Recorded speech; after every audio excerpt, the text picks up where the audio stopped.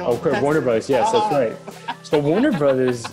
So my buddy actually think I think I think was it you or another friend? He was saying something like that's just one um studio though. Like eventually they're gonna crack. Yeah, I think I was talking about Buddy. He's like something about um it's not gonna last because unless everyone else does it, like Universal, Paramount. Do you know what I'm talking about? Yeah, I know. I, I think Like if, I know. like I know, if Warner know Brothers, yeah, because if the competitors are like, no, like if you want to watch our movies, it's in the theaters, right? You know, Warner Brothers, they're lucky; they have a great IP. Like they have a lot of great titles. Um, They also own HBO. Or they also own the HBO, which is a that huge owns- television. HBO. Yes, Yeah. exactly. However, it's still a percentage of the the market. Like for example, Disney. If Disney's still saying, "Yeah, we're still releasing our movies in theaters," we all know Disney is a huge, huge player in the game. Hmm. Um, so I guess his opinion, his argument, um, and I can see some truth to that, is it'll only be for so long. Um, I feel for Warner Brothers though. I think it's one of those things that they're trying to make both both parties happy. Um, because you got people like me, you got people like us that are Mm. like, hey, we really want to watch, you know, Wonder Woman in the theater, let's say, Mhm. right?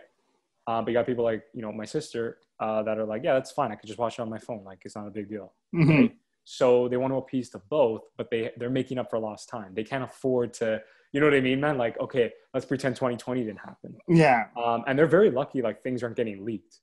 Um, I'm surprised. right? Yo, Like, I'm like, surprised too. Yeah.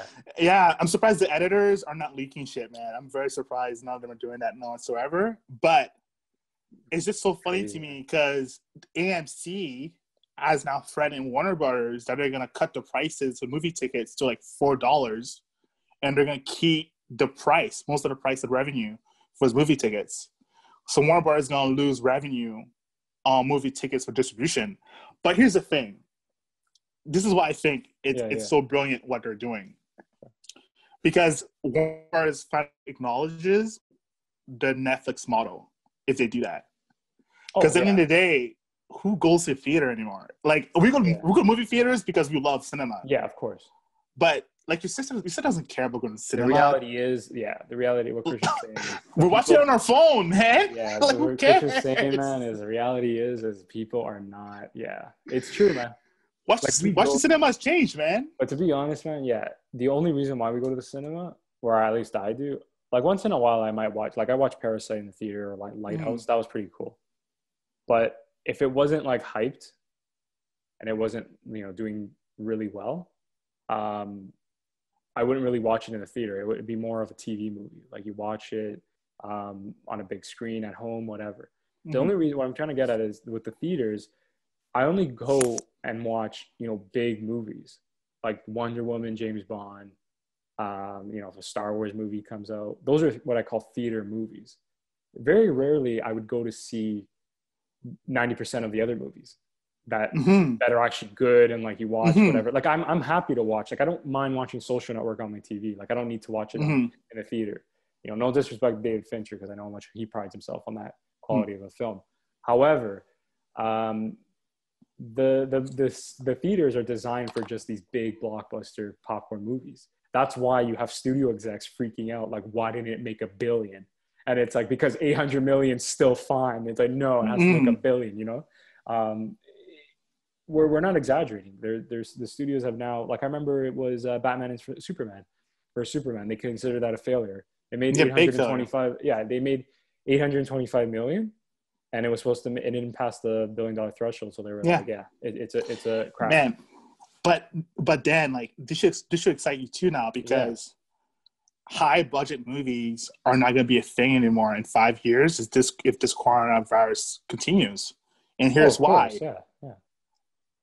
if I can make a movie for like two or three million for Mhm. rom com, Mhm. and I, and I know I'm going to distribute to Netflix, all I Yeah. need is a certain amount of watches to make my money back. Yeah. Because compared to making a big blockbuster where you can make a big ordeal out of things, people Mhm. going to the theater and, and the theater is jam packed for a couple weeks. People are now realizing that I can have a great movie experience at home. Yep. So why am I gonna watch Wonder Woman with like 20 people when I'm worried I might get sick of these 20 people within two years? When I can be already watching it at home. Yep. Now I have Twitter open and I can live watch it with the producer, with the star, on the same exact time. Yeah, get more feedback, get more Get more feedback. right? Exactly, man. I don't know, man. People Bieber did that upset. with his uh, Justin Bieber did that actually with I've been following him um, with his uh, singles. Every time he dropped a single, got Chance the Yeah. Rapper, he got uh, Shawn Mendes. Now music is a different, you know, uh, category, but it's the concept is there. Like people, same, same and principle. I'm guilty of that. Like I watch them because as human beings, you love that humanity, you love that rawness. Like it's not Mhm. edited; it's just two people on a webcam, kind of what we're kind of like what we're doing. Yeah. No one's monitoring this call. Like it's just Mhm. we're spitting facts. Like, oh yeah, I had a great time. Remember that time when you jumped off? And it, it's just, um, I think it's going to change. Yeah, it's going to change the game. Um, people forget. I always say this, right? We learned this in marketing. First rule is 18 Mhm. to 34. That's your prime market, Mhm. and that's you know our generation. That's that's who we're. You know, there's some of us like the small percent, like we still prefer the movie theater. But did you hear how I just talked? I just said, yeah, but I prefer some movies on the TV. It does a big, Mhm. big deal. Like the generation before us was like, no, like I well, I, don't want to watch it on TV. Yeah, because they also had like 32 inch stuff. Mhm. So, um, generation has changed, man. Things are changing. It's inevitable.